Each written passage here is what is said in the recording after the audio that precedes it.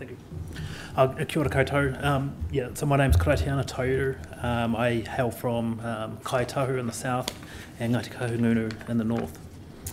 Um, I guess today I'm not going to preach any conclusions, but just more um, offer some highlights from some research that uh, we've, I've done this year.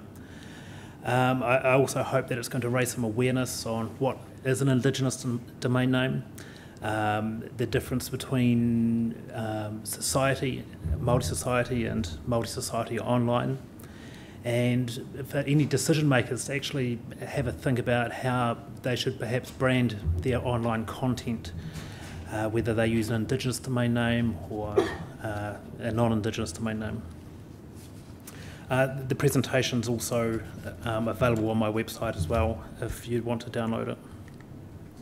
Um, as with any research, there's always sponsors, so um, I have to acknowledge the sponsors who made the research possible.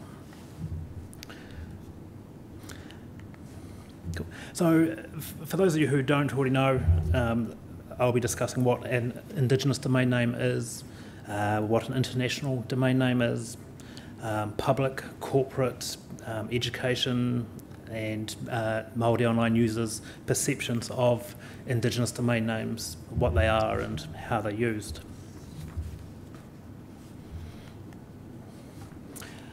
So New Zealand's quite unique in the fact that we have three Indigenous domain names. Um, in the world, there's only five, so we, um, we have three of them, which it's um, um, an Indigenous domain name can also um, be stretched out to include um, any domain name with Māori language in it, or um, an international domain name that has a, a Māori macron. Uh, the other two Indigenous domain names of the world um, are Native Americans, uh, the NSN.us and NSN.gov. Um, some academics say that that only equates to 1.5 uh, domain names as US as a country uh, domain name and that the gov is a, um, a generic top level domain name. Um, I don't see the difference personally. So, An international domain name uh, is a um, it's basically a domain name that can use uh, any non-English uh, Roman characters. Um, they're very popular overseas, uh, mainly um, in the Chinese-speaking countries, um, India, Japan, uh, Hindi, etc. The issue with IDNs, though, is that they can't be used by default uh, with a lot of web servers, and at this stage can't be used in email. Um, so the IDNs use what we call Punycode. So the address at the bottom is my website address um, using a, macron on the A on Māori.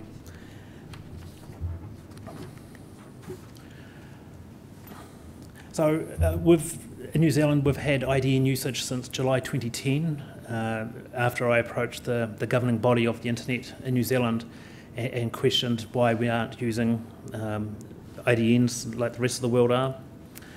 Uh, so after some consultation, that became available in 2010. Um, at the moment, we only have 119 IDNs in the whole .nz um, hierarchy. Uh, a lot of that, um, the researchers showed that people don't know that it's possible to use a macron, uh, they don't know how to use it. And interestingly enough, a, a survey of all .iwi.nz registrants and um, a, large proportion of Māori.nz registrants didn't know that you could use a macron in any of, um, in their domain names. So here's a brief overview of the IDN usage in New Zealand. Um, as you can see, .co.nz is the highest brand.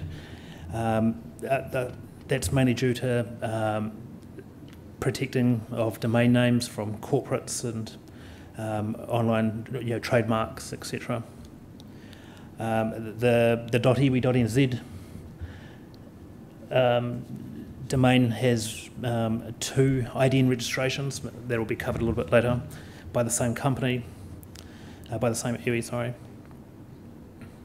And I guess disappointingly is the, the lack of macron usage by New Zealand government, uh, where there's only one uh, macron, which is used in a bilingual name, which I'll cover soon. So, so in New Zealand, we have only, there's only three companies that offer the um, ability to register an IDN, um, and all three of those companies make it very difficult for non-technical people to register um, IDN domain names. Um, there's also uh, one of the country's largest domain name resellers doesn't actually offer .maori.nz at all. So, so .maori.nz was originally applied for in 1997 uh, as the kohanga reo uh, in New Zealand were refused um, to register a, a .org.nz or .ac.nz address uh, because they didn't meet the criteria. Um, so basically they were turned down when they applied for .maori.nz. There wasn't enough support and at that stage the internet governance body in New Zealand was still maturing and hadn't actually um, contemplated how best uh, to write a policy to allow new domain names to be created. Uh, in 2000, uh, we, the New Zealand Māori Internet Society applied for .maori.nz on behalf of all Māori. Uh, that application was declined and basically the online community called us racist for um, applying for it. Uh, again in 2002 we reapplied and we were successful. Uh, it's important to note that it's um, .maori.nz is New Zealand's uh, is the world's fourth international um, Indigenous domain name, but it's the first Indigenous domain name in the world that was um, applied for by the Indigenous people for the Indigenous people. And it's for anyone who um, wants to be Maori, who has a Maori product, uh, just anything Maori. So statistically speaking, the .maori.nz domain name is not very well used. Um, in 2002, uh, there was a number of registrations there, about 356, I think it was. Um, the, the, year after, you'll see a decline. Uh, that was due to cyber squatting, and one company registered a, quite a few different um, iwi names in the .maori.nz area. Uh, that company after a little bit of pressure, finally gave those names back to the iwi, uh, many of whom didn't want to use their .iwi.nz names. Um, the large rise in uh, the usage of .maori.nz happened in 2012. Uh, that was largely um, an Australian company was offering domain names for $1 per annum registration.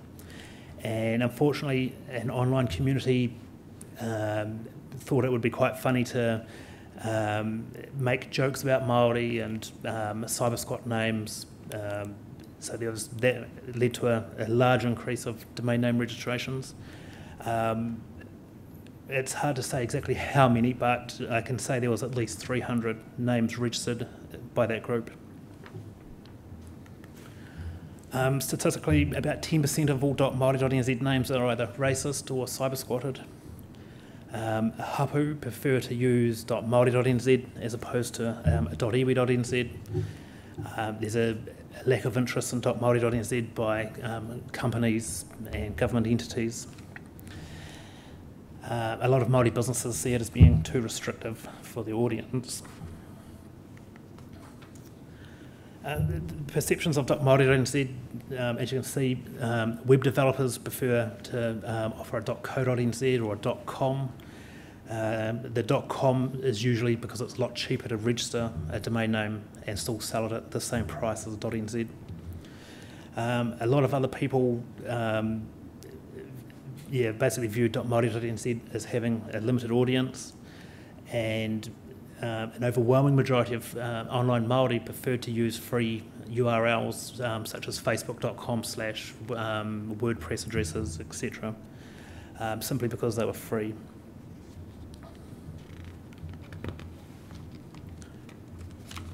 So Maori web designers, the the people who uh, we expected would be promoting .maori.nz, um, do it on a, a case by case basis and again their preference is for .co.nz or .com.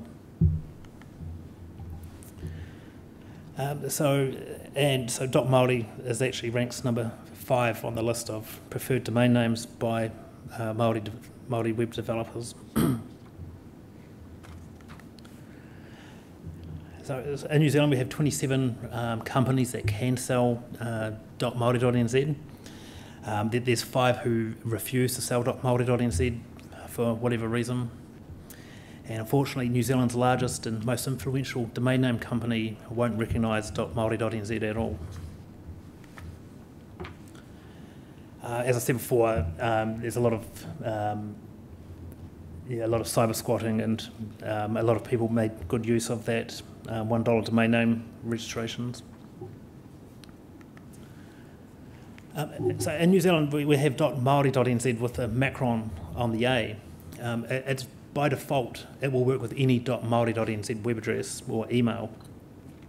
Uh, that was implemented in 2010 with the IDNs. Um, as I said before, it's not email friendly, and web servers need to um, be configured to use it. Um, out of the you know, 1,200 or so .maori.nz web addresses that are online have been registered, um, only about a quarter of them uh, make use of the Macron A. Um, Maori web developers um, typically don't know it exists. Um, I, I, spoke to one web developer who controls about 125 domain names, .maori.nz domain names, and he wasn't even aware of it. Um, for, for, anyone that does have a .maori.nz domain name, you can um, just add um, add a parked domain through cPanel or um, ask your web developer or host to um, add it for you. Um, so the, the, world's first indigenous domain name, .iwi.nz, uh, was created, created in 1994 uh, by the Internet Governance Body of New Zealand. Uh, it was basically a, a knee-jerk reaction to a request by Ngai Tahu for, um, for a, a, representative domain name on the internet. Um, it was it's moderated, so you have to go through a process of um, registering to, to use that .iwi.nz. Uh, the, the moderation policies at um, register.iwi.nz, and we have two companies who resell .iwi.nz. Uh, the, the first company, it wasn't economic uh, for them to offer IDNs in .iwi, so um, I sought out a second registrar who did have the ability to register IDNs.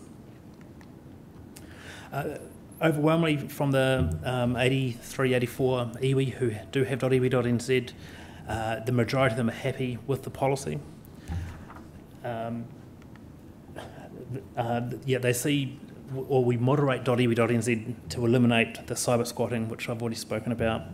Um, it's, it's, seen as a good, solid brand for iwi, and it also protects Indigenous knowledge and um, yeah, and, Indigenous culture. So just briefly, this is the, um, the iwi.nz criteria. You have to be a traditional Māori iwi.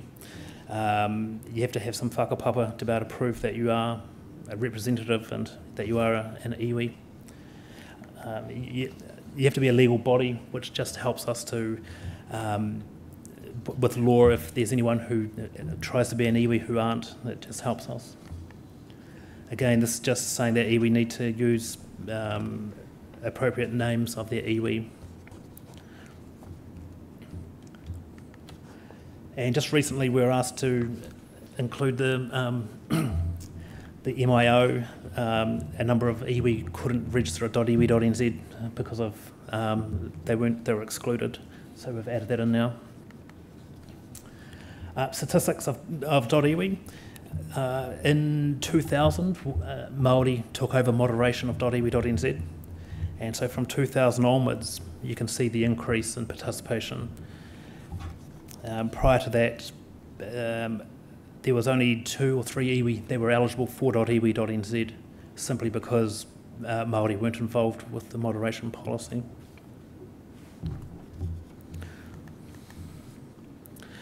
Um, unfortunately, again, uh, .iwi.nz is only heard about by word of mouth. There's no advertising.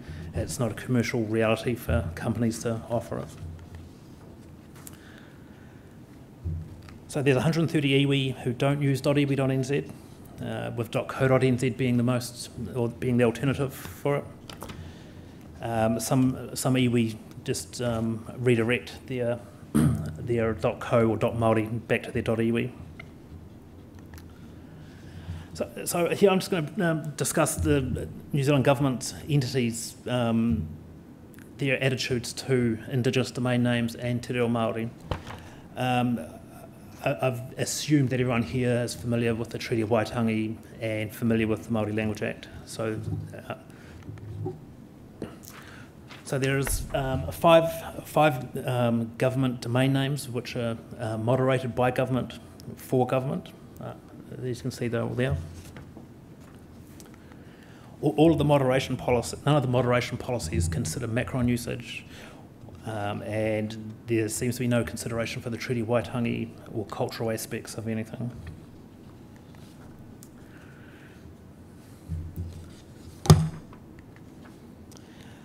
Uh, I've surveyed all the um, government entities in New Zealand, and the majority of them believed that they could use Te Reo Māori in a domain name or use their bilingual name if they if they tried, but they all agreed that no one was 100% certain if they could or not. But I think it's, important to note that um, some people haven't applied for a bilingual name in .government or anything else simply because it wasn't part of the policy. Again, most government departments don't use their um, bilingual name, the reasoning being that the names are too long, um, it's about branding, but the majority of government departments do use their um, bilingual name on their websites for search engine optimization and in their offline branding. Um, th this can cause a, an issue when it comes to trust between Māori and government. Uh, if a government department doesn't use their bilingual name completely, uh, if they don't use a bilingual website, then um, there's, there's, some barriers there for Māori to want to share information or to interact with the government department online. Uh, the, the, the, use of long bilingual names as well could um, could create a. Uh, I mean, people should um, perhaps consider re-evaluating how they create bilingual names um, so that they can be more web friendly. Um, so in terms of Indigenous domain names, there's um, three government departments who have registered their bilingual domain, and only one of those departments actually use their name, and that's the um, Ministry of Culture and Heritage. Um, and I noticed out um, in the foyer that their branding is more dominant for their bilingual name, the Maori name, than the English name. Um, the other two bilingual registrations just simply don't work. And it's interesting to note that the, the Māori Language Commission, who um, basically the, kaiti, um, the kaitiaki of our te reo Māori um, also don't use their own orthographic writing conventions in their web address. And Te Puni Kōkiri, Te Māngai Pāho, and Te Papa also don't use um, alternative English names and often prefer just to use abbreviations.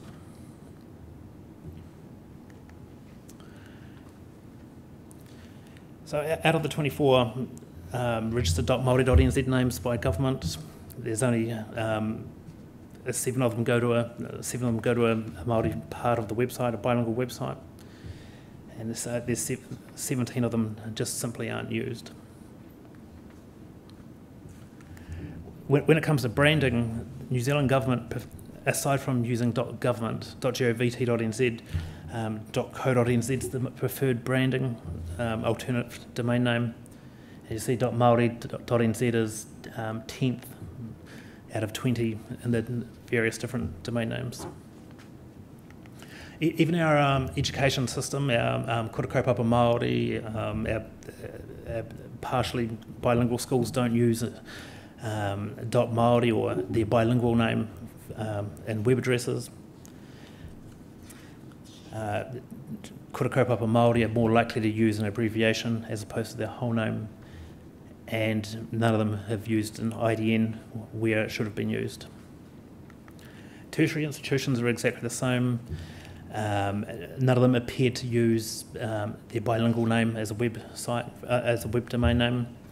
Um, only two organisations had a .maori.nz, and one of them had expired this year doing the research. Uh, there was four other .maori.nz addresses which had been cyber squatted and then went to various different things. So the overall usage of Te Reo Māori in, in the .nz is 5,318 Māori words. Uh, the majority of those words are New Zealand place names, flora, fauna names. so here's a breakdown of um, how, Te Reo Māori is being used in .nz. Um, it is interesting to note that .maori.nz and .iwi.nz are the two highest used um, domains for Māori language. Um, it, the word Māori being used in a domain name, um, some stats there. Again, it's, it's hard to tell exactly what um, the word Māori is being used in those uh, the word Aotearoa is also quite common, and it's also a, a common word used for um, not-for-profit organisation names, company names, and product names. We asked we asked Māori if they would support a, a, a URL shortener, um, like the the Bitly URL shortener, and the overwhelming response was that uh, no one wanted a, a URL shortener. It was um, seen as corrupting uh, Te Reo Māori. Um, but again, there was a, a, huge preference to use um, social media URLs um, for website addresses, and an overwhelmingly growing, uh, overwhelming um, support for a bilingual um, domain name system, uh, which uh, I'll cover in a couple of slides. Um, corporate attitudes to .maori.nz uh, is wanting. Uh, while on the surface, those four addresses may look like um, the, the, corporations being um, Indigenous friendly, that um, all four of those names are registered to individuals. Um, all four of those corporations were told that of the, the breach, the cyber squatting, and they still remain in um, other people's hands.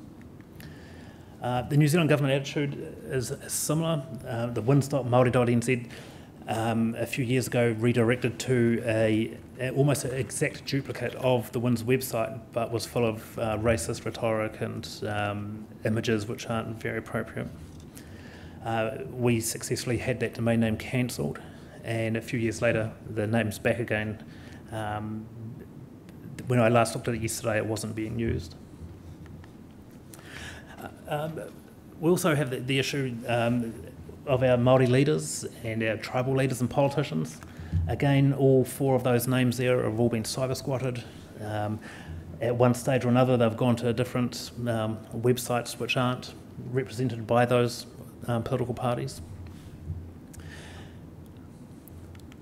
Uh, so the future of Indigenous domain names, it, looks positive.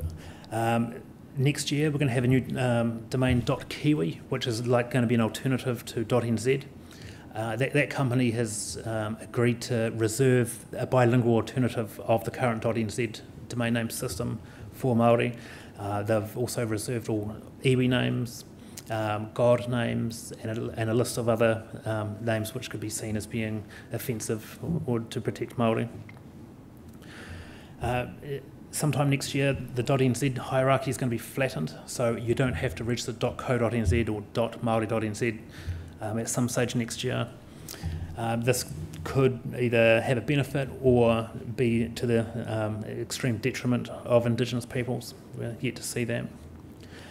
Um, the ICANN, the International um, Internet Governance Body, um, have offered new domain names.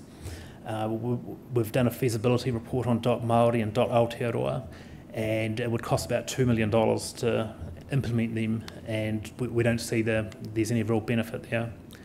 Uh, so uh, we'll be working with other Indigenous peoples around the world to see if we can work on a, a new Indigenous top-level domain name, perhaps dot .indigi or something similar that will protect Indigenous culture and knowledge on the internet. Cool. Okay, thank you.